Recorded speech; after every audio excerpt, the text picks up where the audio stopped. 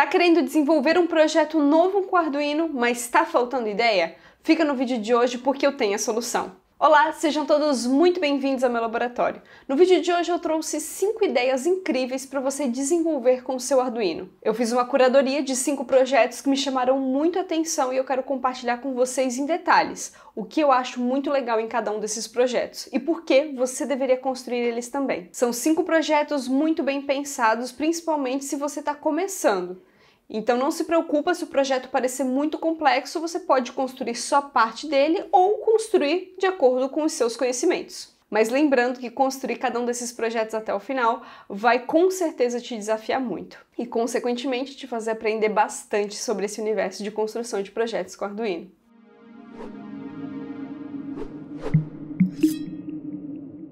O vídeo de hoje é patrocinado pela PCBWay. A PCBWay é uma fábrica que produz placas de circuito impresso e que tem um ótimo custo-benefício. Foi com a PCBWay que eu fiz a maior parte dos projetos de placas de circuito impresso que eu já fiz aqui em conjunto com vocês. Eles têm promoções ótimas, principalmente para lotes protótipos, e vale muito a pena começar a fazer placas de circuito impresso para profissionalizar os seus projetos também. Tô deixando o link da PCBWay aqui na descrição do vídeo para que tu possa clicar e conferir o serviço deles também. E agora, bora ver com detalhes cada um desses projetos que eu separei para vocês. Lembrando que o link do tutorial para cada um dos projetos está aqui na descrição do vídeo, para que tu possa clicar e desenvolver os projetos por aí também. Iniciando a lista de projetos, eu trago para vocês um projeto de relógio.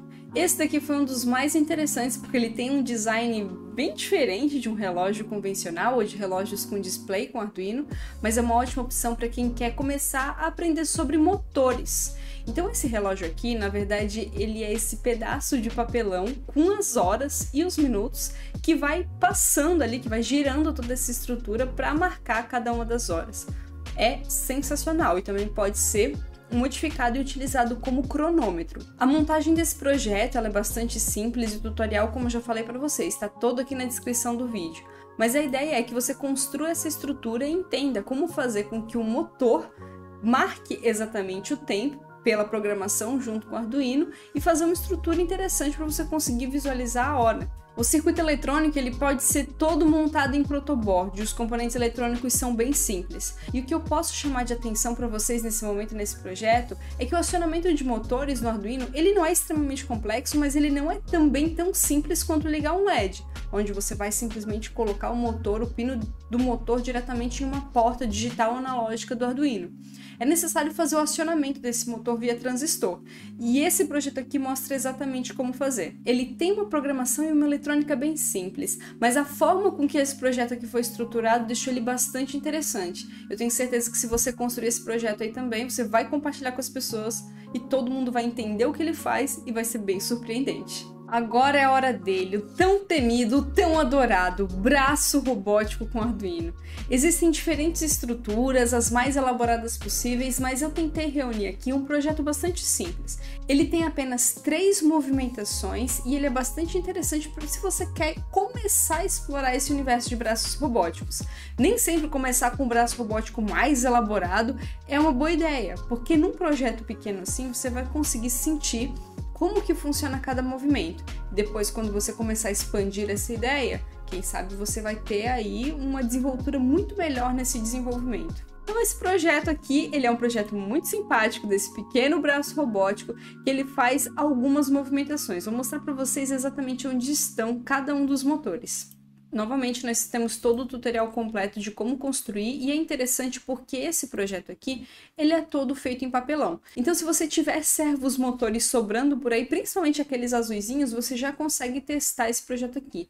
É relativamente barato você conseguir fazer esse primeiro teste e eu tenho certeza que você vai explorar muito sobre como utilizar um servo motor no Arduino e vai se tornar praticamente um profissional nessa área. Por conta da construção ser feita em papelão, você pode fazer esse primeiro protótipo, esse primeiro teste, e se você gostar do resultado, você pode depois cortar as mesmas estruturas na madeira. Diferente de outros motores, o servo motor ele não precisa ter aquele acionamento via transistor. Então, em questão de eletrônica, vai ser muito mais fácil de conectar e configurar todo esse projeto. Mas aqui tem uma feature muito legal que eles colocaram a movimentação via potenciômetro. Então, dessa forma, é possível ajustar e movimentar cada uma das partes do braço robótico livremente. Esse braço robótico aqui, ele possui as seguintes movimentações. Ele tem um dos motores diretamente aqui na base, para fazer o movimento do braço de um lado para o outro. Depois, ele tem um motor logo aqui em cima, para fazer o braço ir para frente ou para trás. E essa parte aqui de cima é só para pegar essa última partezinha do braço. Ele é bem compacto, existem braços mecânicos com muito mais movimentações, muito mais motores, por exemplo, para ele ter o movimento de pinçar logo na ponta, para fazer movimentos ainda mais elaborados. Mas eu acho que para quem está começando e para uma primeira experiência, esse daqui é o ambiente perfeito para começar a desenvolver projetos desse estilo. Agora, para sair do convencional e continuar trabalhando bastante com servos motores, temos aqui essa opção que eu acho que é um dos projetinhos com servomotores mais diferentões que eu já vi, que é esse jogo pedra, papel, tesoura automático, você contra a máquina. Olha só que interessante. Você vai utilizar os servos motores e um sensor de proximidade aqui, um sensor IR, para iniciar as partidas e poder fazer um jogo de pedra, papel e tesoura você contra o computador. O projetinho ficou muito bem construído e ele é um projetinho também com materiais bastante simples. E uma contribuição muito legal que o autor desse projeto deixou foi deixar esse projeto totalmente automatizado com as baterias. Então você pode colocar esse conjunto de pilhas ou baterias e deixar esse, esse projeto totalmente portátil.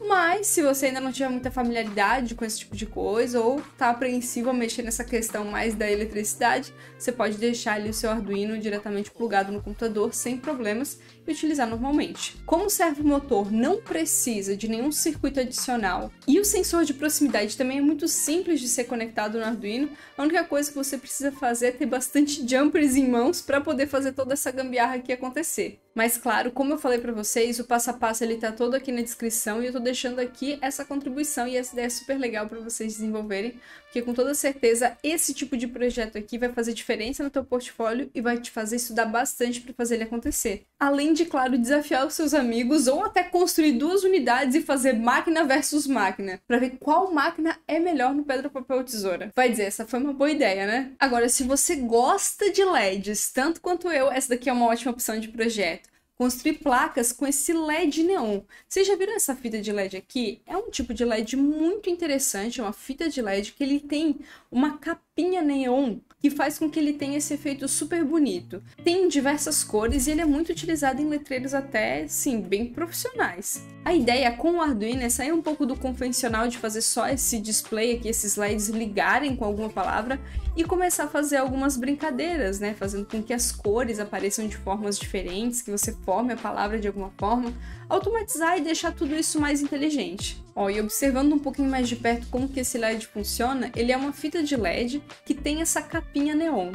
Existem diferentes modelos. Eu recomendo que, caso você for fazer esse projeto inteiramente no Arduino, que compre esse modelo de LED aqui já na tensão de 5 volts. Assim você garante que você não vai precisar de nenhuma fonte adicional, uma fonte externa ou uma eletrônica muito elaborada para fazer tudo funcionar. O Arduino já vai funcionar de boa. Mas por esse LED precisar aí de bastante energia para funcionar, o melhor e o ideal é que você faça também o acionamento dele via transistores. E aqui a gente tem a documentação completa dos transistores que você vai utilizar para os LEDs, de como construir esse circuito, tá tudo certinho aqui na descrição. No final o resultado fica muito bonito, você pode fazer uma placa personalizada para o seu quarto, para sua casa, para sua sala, dependendo do quanto você se dedicar aí nessa estrutura, o negócio pode ficar bem profissional e aposto que até muita gente vai duvidar que foi você que fez, vai achar que foi um produto bem caro comprado. E esse é um tipo de material que eu tô com bastante saudade saudade de brincar e eu acho que em breve eu vou comprar mais algumas unidades, mais algumas cores pra gente fazer alguma coisa legal aqui no cenário também.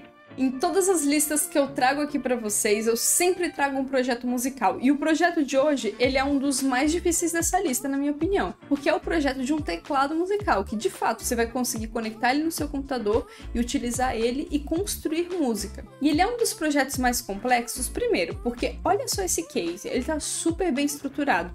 O autor fez em impressão 3D, mas se você se dedicar bem, dá para construir com outros materiais. O autor foi bem generoso, deixou vários desenhos aqui do teclado para você pegar de inspiração. E esse daqui é o motivo do porquê eu acho que esse é um dos projetos mais complexos. O nível de construção de eletrônica desse projeto, ele é muito mais elaborado. Porque imagine, você precisa construir um botão para cada uma das teclas musicais. E você precisa ficar repetindo toda essa estrutura de eletrônica para cada um dos botões que você quer fazer. Se você está muito no começo, você pode começar fazendo com três botões diferentes, só para testar o efeito, só para começar a programar, começar a sentir como vai ser o projeto, e depois você pode ir expandindo.